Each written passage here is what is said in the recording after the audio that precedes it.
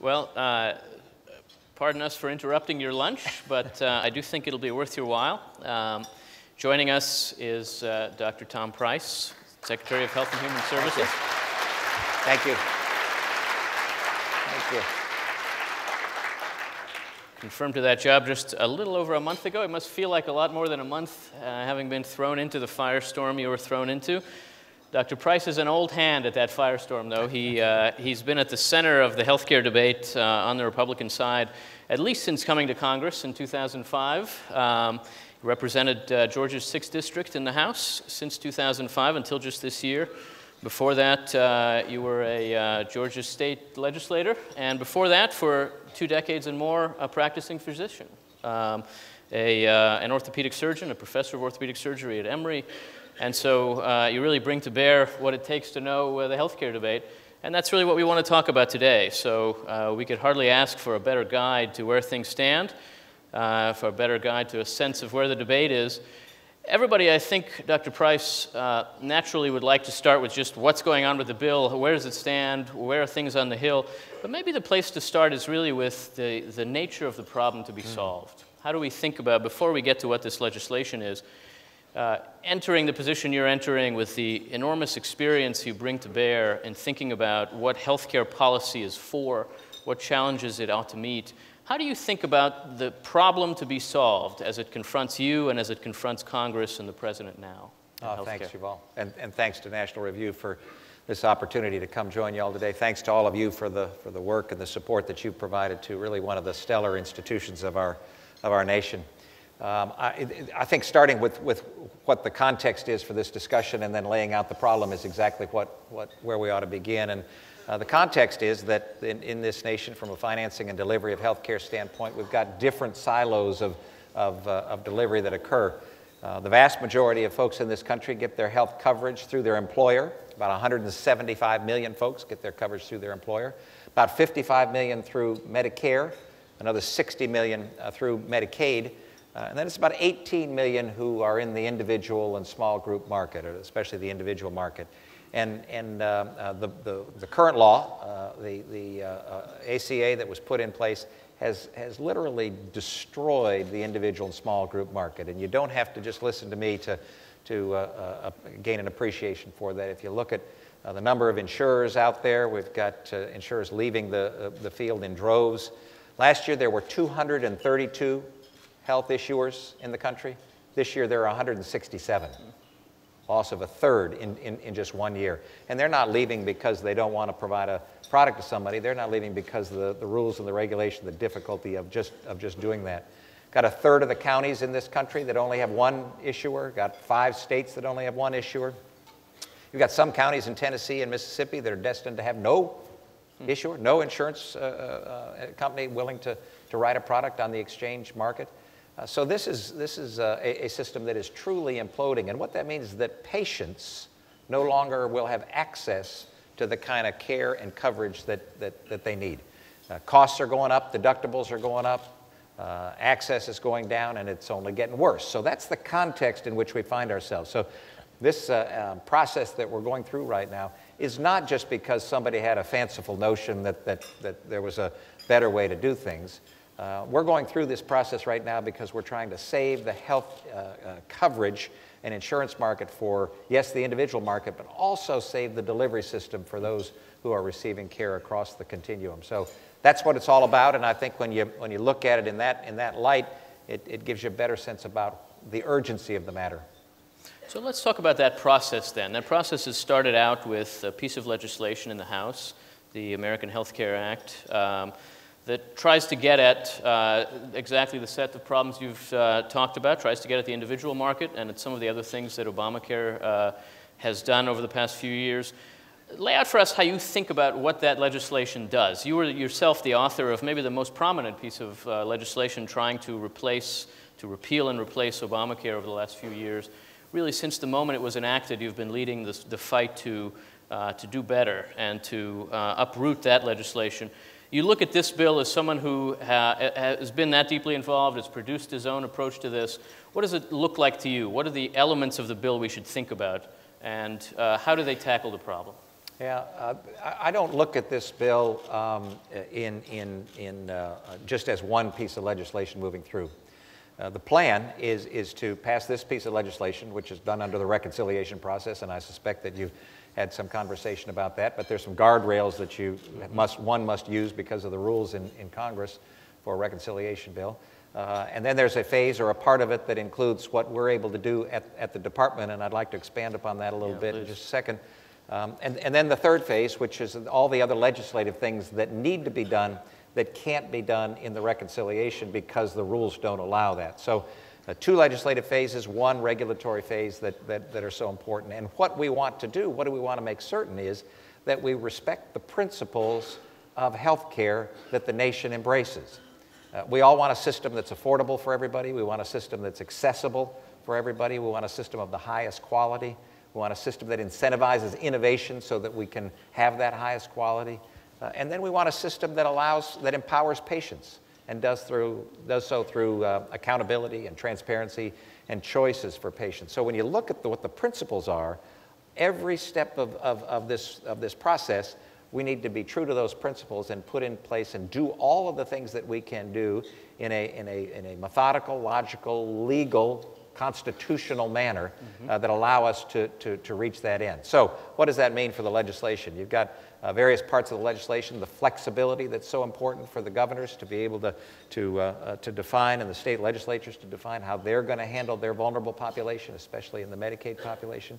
Uh, the, the, uh, the tax equity, providing individuals in, in the individual and small group market the opportunity to have the same kind of tax preference purchase of coverage that, that folks who are in the employer sponsored arena uh, do. That's in, incredibly important. Uh, to look at, at uh, the kinds of things we can do at, at, from the uh, department standpoint.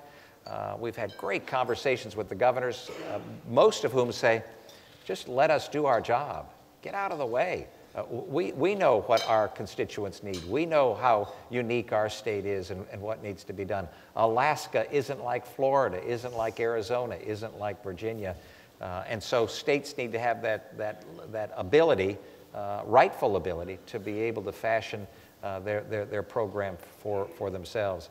Um, and then uh, I, I, mentioned before the, the, the issuers, the insurers who are fleeing the market. Uh, we need a significant amount of market stability, not for insurance companies, but so that patients have access to the kind of coverage that they want. And that's what we've tried to put forward already. Uh, uh, we've begun that process through some diff different rulemaking uh, uh, that we put forward to make it so that there's some greater stability in the market and that not only will, will insurers stay, but those that have left will look at it and say, oh, well, now we can get back in that market and, and, and work for our customers. So, talk to us a little more about some of the things you've been doing and would want to be doing. one of the ways that concerns about the legislation are being answered by its champions is to say, as you've said, this is one phase. There, there's more to come. Uh, more legislation, maybe, but especially more regulatory action that would try to fill in some of the gaps in what can be done through reconciliation or what can be done in this bill. Tell us specifically what that might look like. What would you be doing uh, it, when it comes to regulatory changes, administrative changes, if the legislation that's now going through Congress would pass to build on what it would do? Yeah, this is, this is an area where I'll, I'll, I'll kind of lay out the, this 30,000 foot view, but it's important uh, that we not get too specific because, as I mentioned, we want to do this in a legal and a constitutional way. And as you and your, your, the, the folks here and, and, and uh, uh those who might view this understand and appreciate, uh, rules and regulations, new rules and regulations require an, an Administrative Procedures Act uh, process uh, in order to enact them. So it requires publication of the, of the proposed rule, uh, a period of time where the public is able to comment, our assessment then of those comments and a response to those comments, and then putting forward either an interim or, or, or a final rule. So that's, that's a process that has to be followed. We're not able to truncate that process. But let me just put it in context.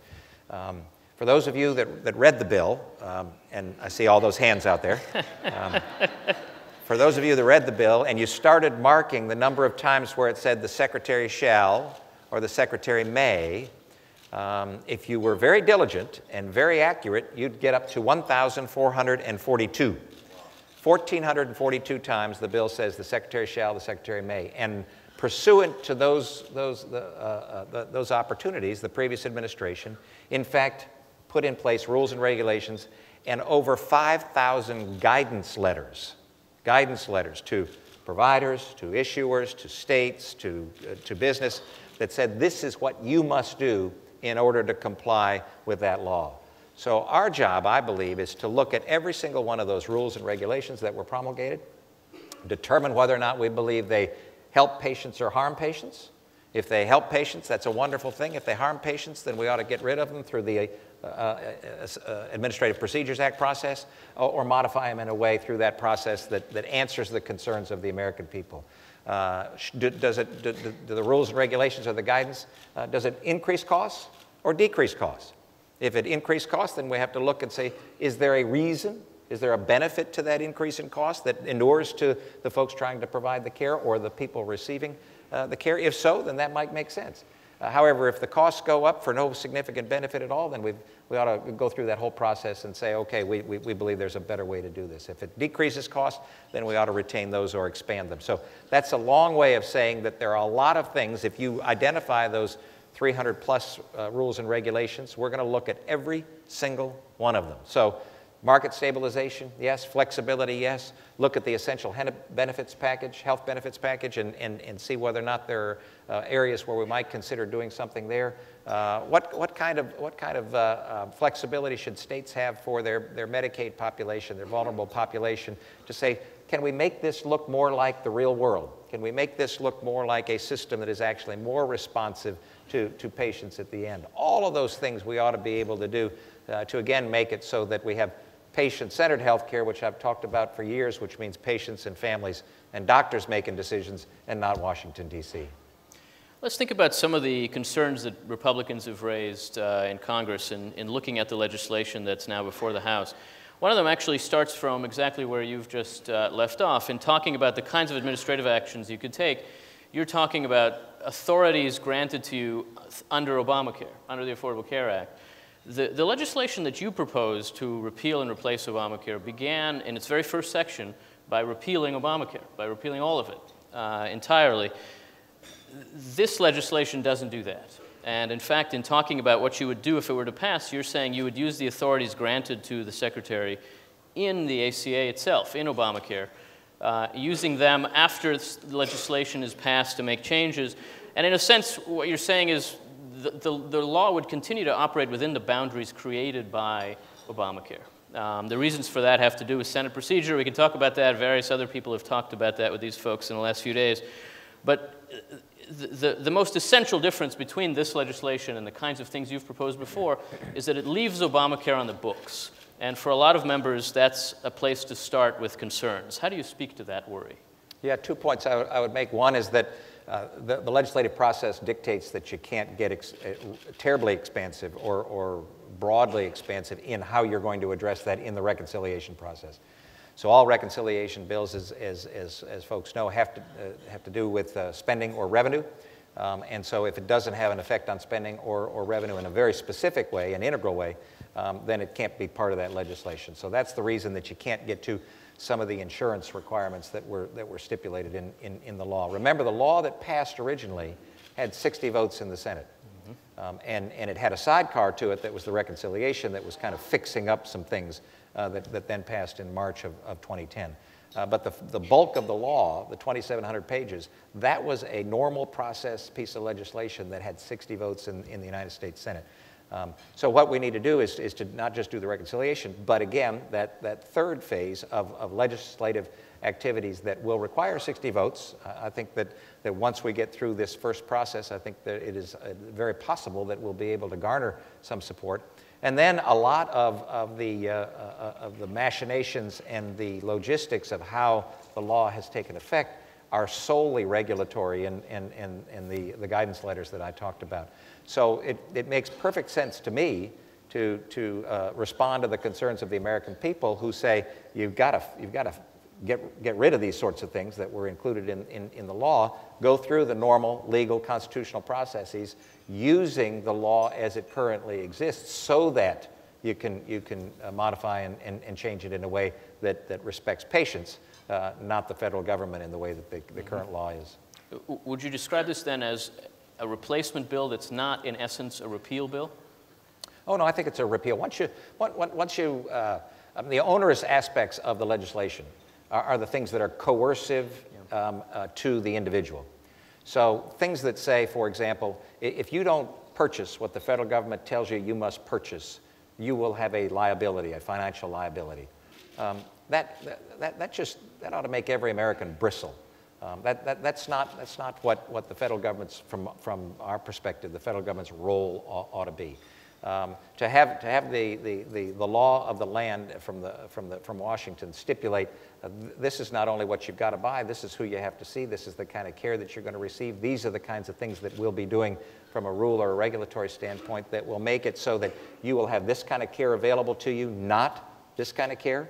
Uh, those are things that just are anathema to, to the principles of this great nation. And, and so um, once you repeal those things that are, that are, are the most corrosive elements, you've basically done what needs to be done to get us back on track to that patient-centered health care. Mm-hmm.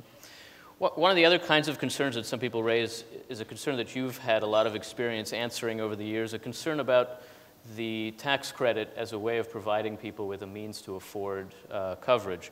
The argument is a refundable tax credit, a credit that for people who don't have a tax liability is really just a benefit, uh, is a new entitlement, is a new federal benefit, um, and that Republicans shouldn't be in the business of creating another entitlement when we have such enormous entitlement problems to think about already. How do you respond to that concern? Yeah, this is a perplexing one to me, Yuval, because we conservatives had said, have said for years uh, many folks have said the, the employer sponsored coverage, the tax benefit that, that employers and employees get to purchase coverage, health coverage, uh, which again is 175 million of us uh, across this great land, um, that that's, uh, um, that, that's not fair to those who aren't getting their coverage through their employer. So uh, you'll, you'll, you'll know that prominently uh, a few years ago, about nine years ago, there was a presidential candidate who said, we ought to take that away because that's not right. That's not the way we ought to do it. We ought to equalize the tax treatment of the purchase of coverage for all Americans. Um, and so uh, that didn't go too well. Mm-hmm. Uh, 175 million folks is a, is a significant constituency. So what we always did in our legislation was say, you ought to give the same kind of benefit, be able to purchase coverage with pre-tax dollars, in essence, uh, for, for those who don't get their health coverage through, through their employer. This is the process that brings that about uh, through, through tax credits, uh, advanceable credits, and then refundable advanceable credits. It makes no sense to me to say to all of those individuals who, who uh, um, are in that, in that uh, cohort uh, where they make too much for, uh, to be eligible for Medicaid, but not enough to be able to afford health coverage, that we're going to give a tax benefit for every other individual in the system, but not for you. Uh, I don't think that's a, that, that's, a, that's a place to end up. So I, I think it's the most fair thing to do. Uh, if we want to have a debate as a society about removing the, the, the tax preference for everybody uh, to, to purchase coverage, that's a debate that might be a responsible thing to do, but that's not where the nation is right now. So you mentioned those people just above uh, Medicaid eligibility and, uh, and still unable to afford coverage. Is coverage the measure of success here? Is that how we ought to think about uh, what a successful legislative move would look like? The Congressional Budget Office, as you know, this week, in scoring the legislation moving through the House, projected that it would leave after 10 years some 24 million people without coverage. Um, first of all, we can ask, what do you think about that score? And secondly, is that the measure? Would, would, would this legislation be a failure if that were true? Yeah, um, I think that score defies logic uh, and, and, I'm happy to talk about it. But no, coverage ought not be, uh, ought not be the metric that we're looking at. We ought to be looking at care. Right now, you've got uh, um, uh, literally millions of people out there who have an insurance card. They've got coverage. They're counted as having coverage. But when they go to the doctor, uh, they, uh, many of them are told what their doctor recommends. He or she says that you, that you ought to do this. then they go out to that front desk that we've all, all been to, uh, and if, you, if you're in a large office, you get shunted over to that little desk on the side where you sit down and somebody says, let me see your insurance card and we'll see if you can, uh, how we move forward. Uh, and, then, and then you're told that's going to cost 1500 bucks for that test, 800 bucks for that test, 3000 for that test, 4000 for that procedure. And then you have to go through that mental computation and say, well, my deductible, which used to be 1000 bucks, or which used to be 1500 bucks is now 6000 or 8000 or for a family $12,000 or $14,000. And what individuals are doing right now because of the rules stipulated by the federal government, they are saying to themselves and to their wives and their, and their husbands and their kids, I'm sorry, we can't afford it. So they've got a card, they're listed here in Washington as having coverage, but they have no care. So care needs to be the metric that, that, that we're looking at. Now, the way that you make it so that care can be uh, provided is that you don't dictate to folks what kind of coverage they must purchase. You've got to have an array of options. You need competition in the system. You need choices available for patients. You've got to drive down the costs of providing that coverage so that the American people are able to select something that actually works for them and they're able to get the kind of care that they need. Would you expect if the legislation now going through were passed, if, if a further phase of administrative action happened, would you expect that the, the number of people with insurance of some kind would be higher or lower in 10 years? Uh, I'm, I'm of the belief that if, if, if we use carrots and not sticks, and that we put in place a system that is actually responsive to patients, not to insurers and not to the federal government, but to patients, uh, that we can have and will have a system where there's a, there's a greater level of coverage and care mm-hmm. than there is right now.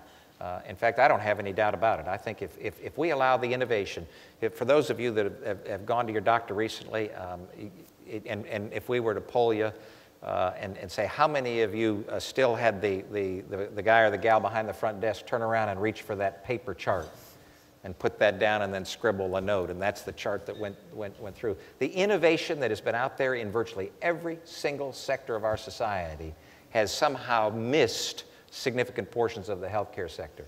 Imagine a system of, of, of healthcare and financing and delivery, if, if, if, you would, that incorporates all this innovative creativity and, and ingenuity and entrepreneurship that is, that is infecting every single other por portion of our society, except it doesn't in, in the area of, of financing of, and, and much of the delivery of, of healthcare. So, yeah, we, can, we, we, we ought to be able to, to provide greater coverage for folks at a lower cost and we know that we can do it because in systems where you, where you see it being done, it works.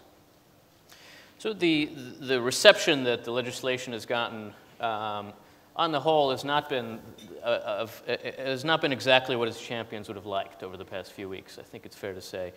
Um, a lot of the people who were co-sponsors of your bill in the House over the years uh, are at this point at least very critical of this legislation as it stands now. Why do you think that is, and what's your sense of where the process is headed in the House and beyond? Well, my bill wasn't a reconciliation bill.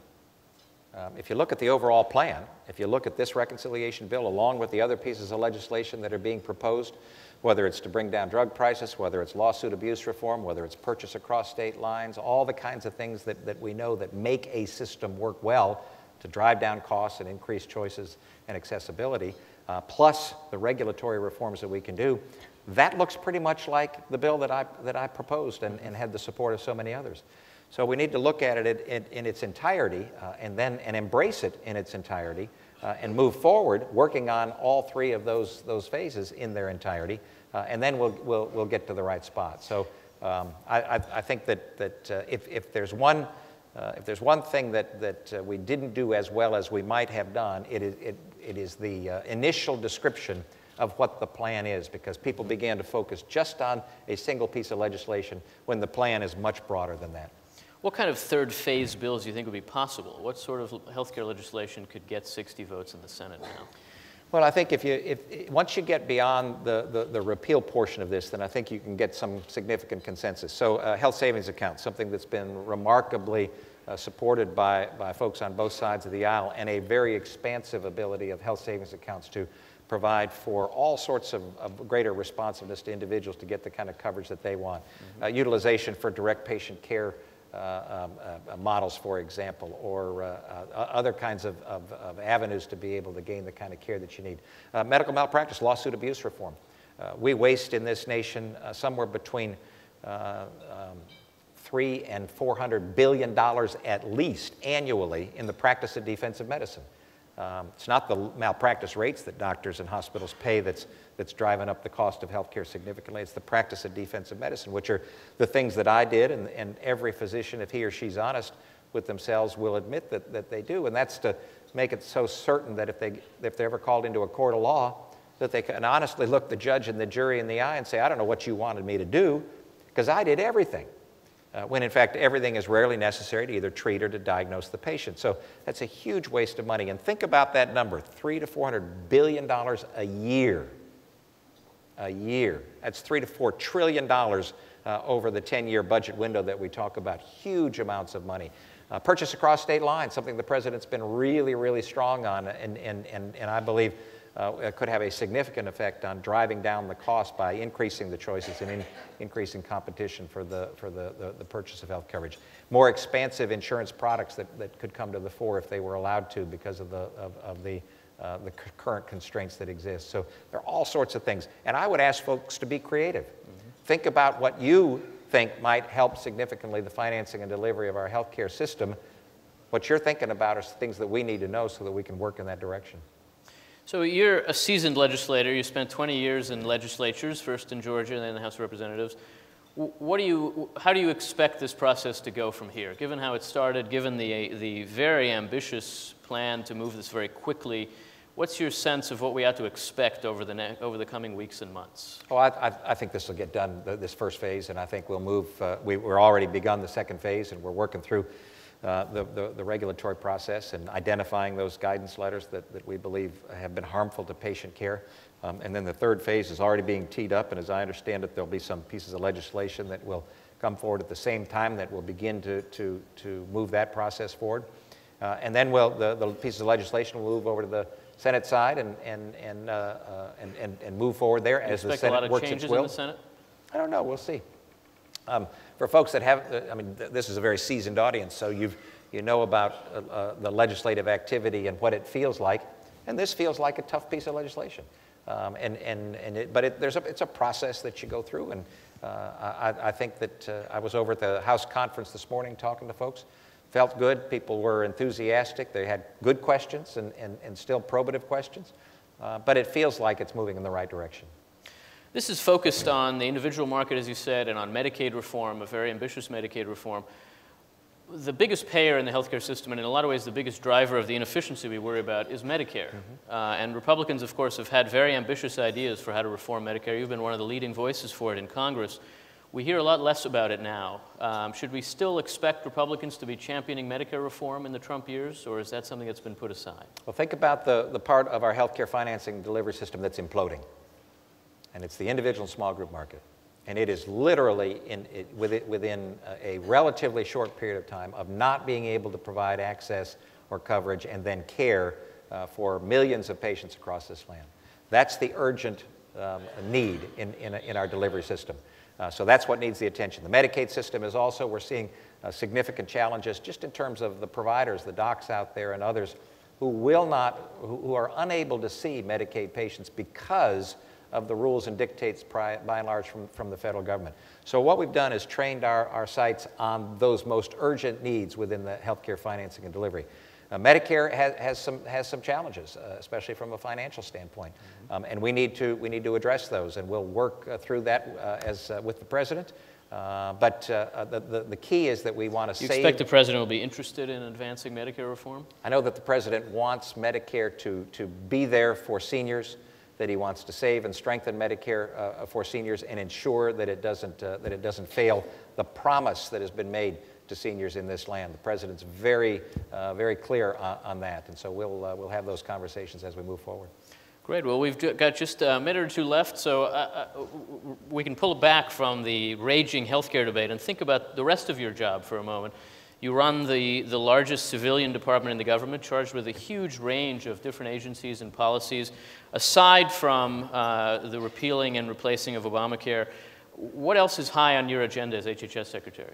Uh, Yuval, it's, it, it is a, it's the largest uh, department, uh, 76,000 employees, um, has 27 different staff divisions and, and operating divisions. Um, it's an incredible privilege to, to serve as its, as its secretary. The mission is to improve the health, safety, and well being of the American people, and it stretches all the way uh, from, from making certain that, that uh, kids, those kids that are, are uh, down on the border, the unaccompanied children, uh, there are, there are, we are their guardian until we can find a stable situation for them, uh, to the kind of preparedness and response that we do. Um, the response to Ebola, the response to Zika, the response to, to uh, um, pandemic, potential pandemic flus, all of those things are, are charged through the department. National Institute of Health is under us, the Indian Health Service, the, the, the um, all, all, of the things that, that the American people know and trust so much to make certain that we're doing our job so that they can be uh, safe and, and, and, and sleep well at night. And uh, it's just an incredible privilege. The three clinical challenges that I put before folks to say that this is where we ought to focus some of our, our uh, significant priority mental illness. Uh, it, it, it, grieves me to see what we've done in this nation to individuals with mental illness. We've transferred them over the past three to four decades from, from, from inpatient uh, uh, housing not necessarily treatment, but we've just transferred them into the criminal justice system and now they're being housed in prisons. It is, I think, absolutely irresponsible on the part of our society to do that, and we need to focus clearly on that.